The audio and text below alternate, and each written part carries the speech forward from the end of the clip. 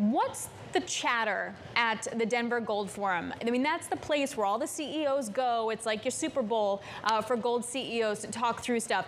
Why are we not at $2,000 gold? What's the conversation around that?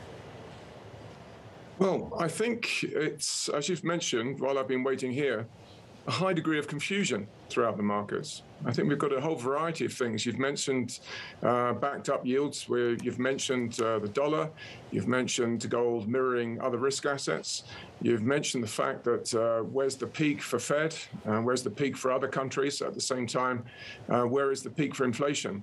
So I think what you, what you've really got is an is a is a not really a perfect storm against gold, but um, a combination of asset, a combination of things that give uh, has given it pause.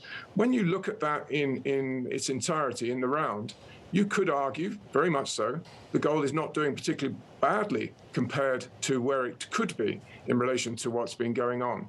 And so I think, in very many respects, I would regard gold as somewhat of a sideways move at the moment rather than decline.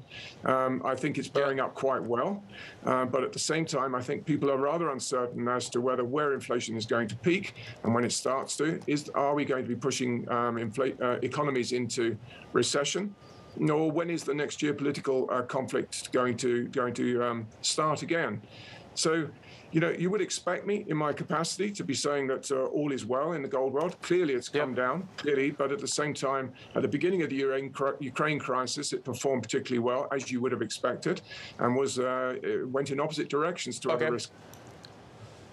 David, David, I, am hearing what you're saying, and, Assets. what really stood out for me was inflation. It's done as you would have expected, but I still think. Sorry. Sorry, you, you seem to say suggest that that almost you're surprised that gold has held up in the way that it has. Therefore, do you believe? Uh, would you be surprised if it was lower from here? Yes, I would, because I think there's enough geopolitical conflict in the world and other pressures in the world for gold to sustain itself at these levels. I think this is we're, we're seeing evidence with everybody we speak to for people looking at this level to invest. Uh, to bring gold into their portfolios, to diversify. They, they see a collection of confusing um, incentives out there at the moment. And I think many people are uncertain as to whether, yes, will the Fed go aggressive? Will the other central banks go aggressive relative to the inflation expectations?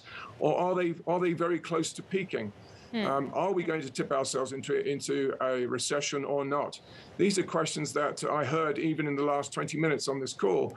Um, people uh, giving very, very vastly different opinions on, and so I think it's not surprising given this uh, this situation that gold has gone sideways.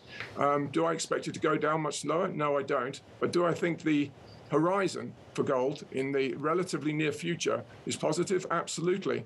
And I think that is what the major reason, uh, major reason I'm here in, at the uh, Denver Gold Conference, which is the fact that we're revolutionizing this gold market. We're going to be so, turning it into something far um, far more advanced, taking it out of the, the, the, 1985, as I like to call it, into 2022.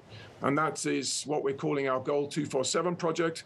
We're moving gold into something that is uh, far more, um, you can check its integrity, its provenance, its chain of custody, and with a view to tokenizing the asset class mm-hmm. and turning it into something that is much easier to use across the globe. And I think that is a demand driver that people have not factored in.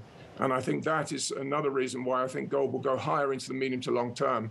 So, David, um, typically you have three prongs for gold investment it's central banks, it's jewelry demand, uh, and then it's investment demand. It sounds like you really think that investment demand is going to be that driver. Um, is that a fair assumption?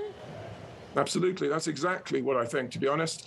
I think what we're about to do in this gold market is going to really unpick that institutional world that has hitherto been, you could say at times, agnostic to gold, uh, or has found other asset classes that have been cheaper to trade from a capital perspective. Uh, but our plans by digitalizing this entire ecosystem is to remove many of those capital barriers that gold has suffered under for so many years.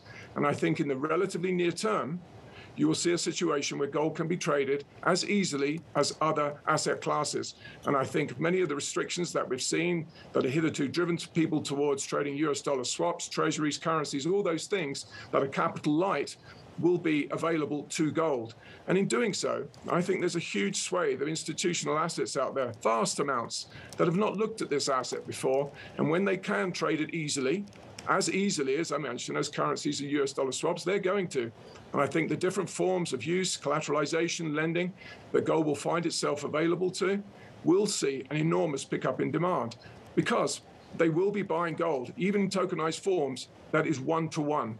They really are yep. buying gold, even if it is a tokenized form.